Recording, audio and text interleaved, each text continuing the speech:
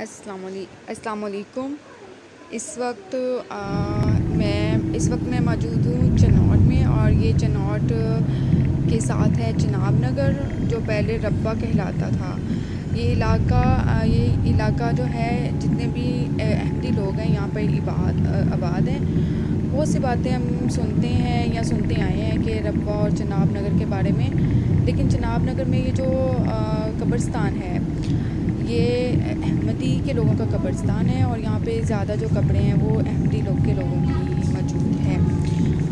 यहाँ पे कादियानी लोग, जो अहमदी लोग हैं जब जब क्या उन्नीस सौ सैंतालीस में पाकिस्तान बना था तो इंडिया से बहुत से लोग पाकिस्तान में आए थे, जिनमें बहुत बड़ी तादाद जो थी वो कादियानी और अहमदी लोगों की थी। तो उन्होंने जनाब नगर या रबा में आके रिहाइश कर ली। इसके बारे में लोगों का कंसेप्ट है एक जन्नत और दोजक का, जो उन्होंने अपने माइंड में रखा हुआ है। लेकिन यहाँ पे जो तमाम कपड़े हैं, वो एक जैसी ही हैं, जो देखने में आई हैं।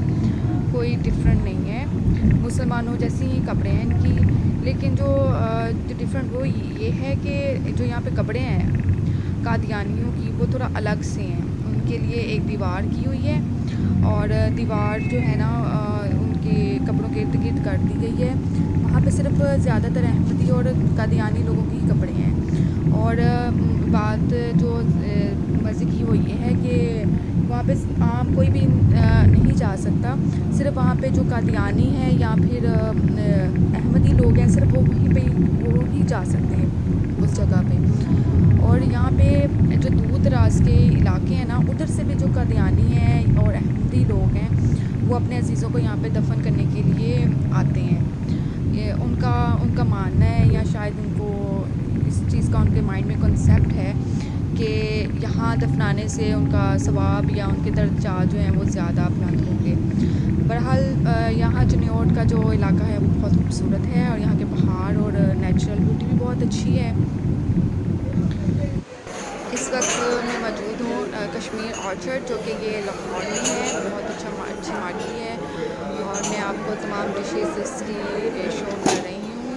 यहाँ पे बहुत मज़े मज़े की डिशेस थी और बहुत ज़्यादा थी ख़ास तौर पे जो चिकन की रेसिपी चिकन की डिशेस थी वो बहुत ज़्यादा थी। मैं आपको सब डिशेस वन बाय वन आपको दिखा रही हूँ। और यहाँ की जो डेकोरेशन थी और बहुत ज़बरदस्त ऑल ऑफ़ एवरीथिंग बहुत मज़े का था, हमने बहुत इंजॉय किया यहाँ पे इस फ़ंक्शन को। और स्पेशली यहाँ पे जो बच्चों के लिए थी बहुत बच्चों ने बहुत इंजॉय किया काफ़ी खेलने के लिए भी यहाँ पे साइड ग्राउंड था।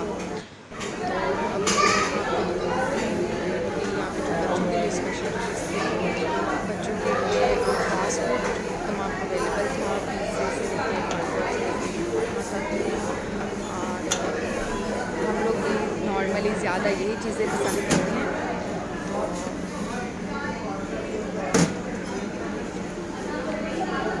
मैंने भी ज़्यादा फास्ट फ़ूड को पसंद किया और प्लेट में उसको डाला।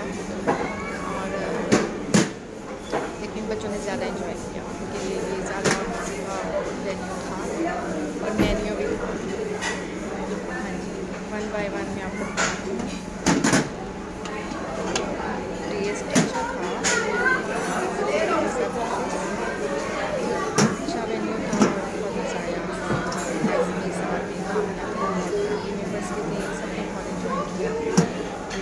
देखने का बहुत बहुत शुक्रिया चैनल को सब्सक्राइब करें और लाइक करें।